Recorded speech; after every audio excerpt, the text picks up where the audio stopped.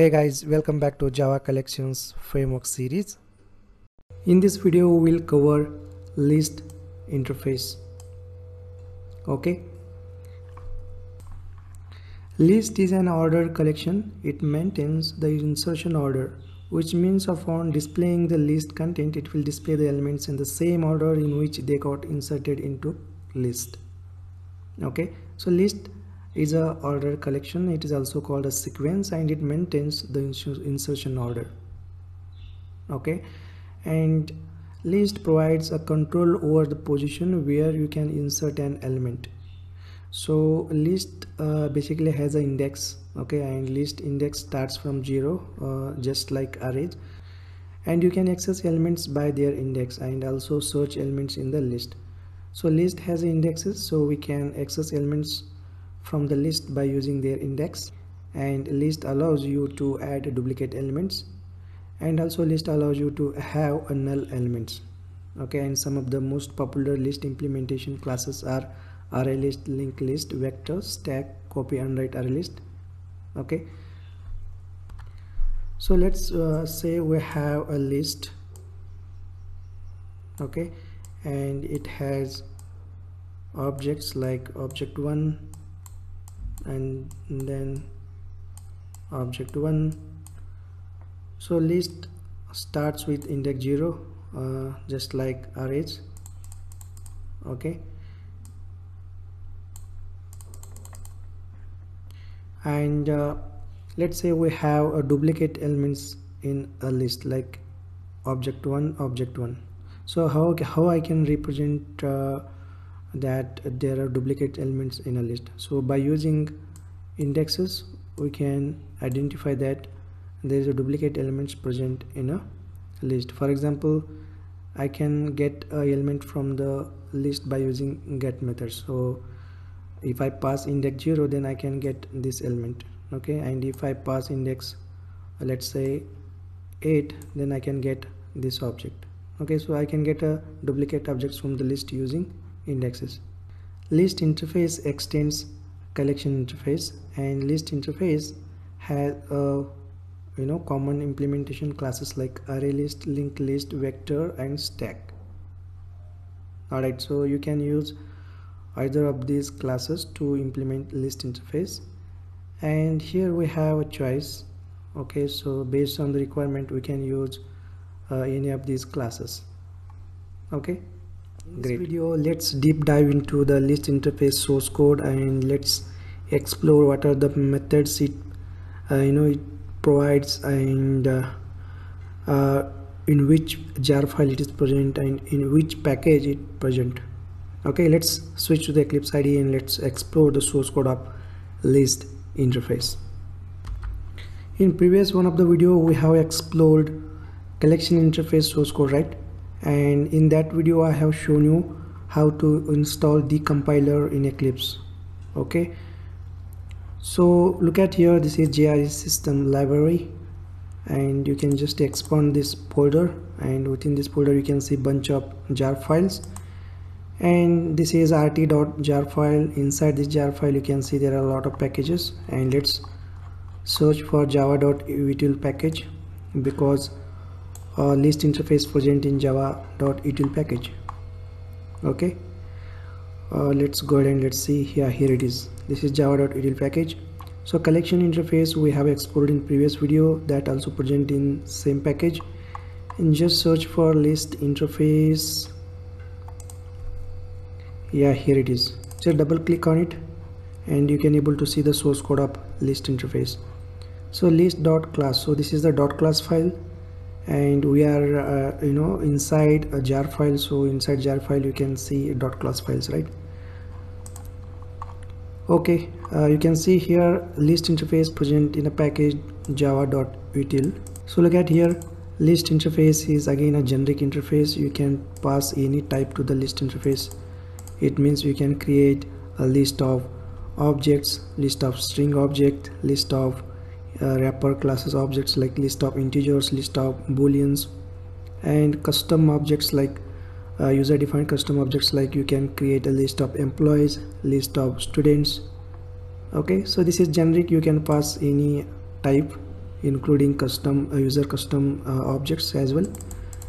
And list interface extends collection interface. Okay so this is the inheritance. So list interface inherit all the methods from the collection interface. And along with that list interface also provides its own methods.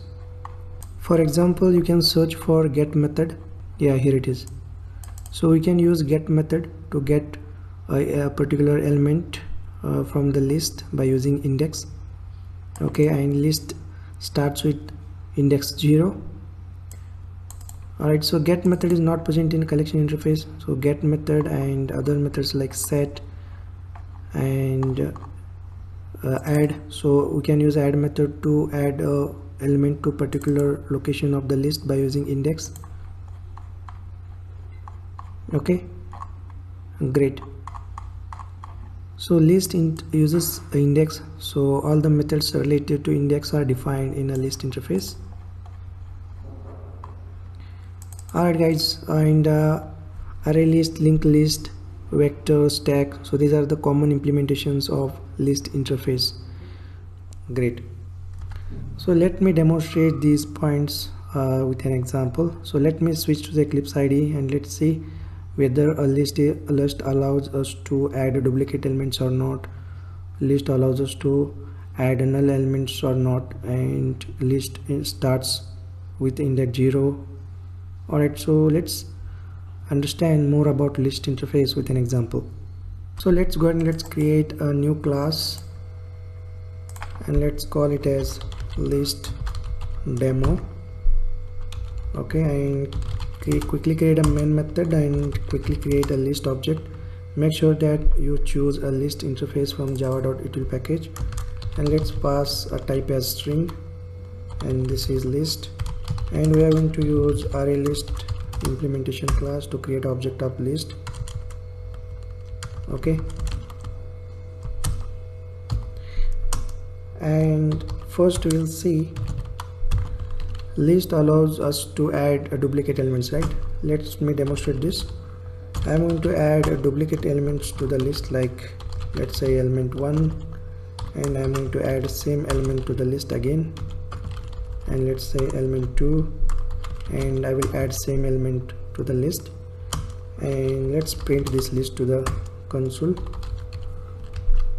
And let's run the program and let's see whether it allows duplicate elements or not. Yes it allows to add duplicate elements because I have added duplicate element that is element 1 element 1 twice. So it, it, it printed duplicate element to the console. It means that uh, list allows you to add duplicate elements. Okay now let us see list allows us to add null elements okay? So let me add a null elements to the list. Null and let me add one more null value okay? And after that I am going to print the list okay? Let's run the program and let's see whether it accepts null or not. Yes of course. Of course so we can add a null elements to the list okay great. Now let's see the insertion order. So list maintains insertion order right? So let me demonstrate that. So here I'm going to comment out this code. And let's add uh, elements like element 1 and then element 2 and then element 4 and after that element. 3 and then element. 5 so we have inserted 1 2 4 and then 3 5 so these are the five elements we have inserted in a list. When we print this list we have to get the result as uh, it has inserted in the list. For example I'm going to print this list to the console. And if I run the program I would able to see same result should printed to the console. Yes. Element 1 element 2 and then element 4 like we have inserted in the list. And then element 3 and then element 5 it means that uh, so list interface maintains a inser insertion order. Okay? Great. Now let's see how to access elements from the from the list. Okay? So as we know that a list start with the index 0 so let me just print out the elements so I can use a get method. And I can access a zeroth index of the list that is element 1 like this. And let's say I want to access element uh, you know element 4 then I can pass the index 3 okay so this is how we can get an element from the list by using indexes. Okay so we can use a get method to access elements from the list. Let me run the program and let's see. Yeah here we go. Element 1 element 3 so list start with index 0 so this is 0 and this is 1 and this is 2 and this is 3 so if I pass index 3 it should give element 3 not element 4 okay? And if you want to get element 5 from the list you can you need to pass index 4 like this. If you run the program then you can able to see element 5 okay? Great. So this is how the list uh, interface works. So you can use different implementations like linked list or vector stack okay? So we'll learn more about array list linked list vector stack in further videos. So this is uh, how uh, the list works and this is all about list interface. So this is how uh, you know list allows to add duplicate elements list allows to add null elements and list maintains insertion order. And we can access elements from the list using indexes okay. Great. So remember these points whenever uh, you have a requirement to use a list then uh, these uh, these will help you guys. Okay. So uh, when to use a list interface? So whenever uh, you want to represent a group of individual objects as a single entity and this group of objects can be a duplicate elements and these uh, elements should maintain an insertion order then you can you should go for list interface. Okay got it? Alright guys uh, that is pretty much about list interface. I will see you guys in next one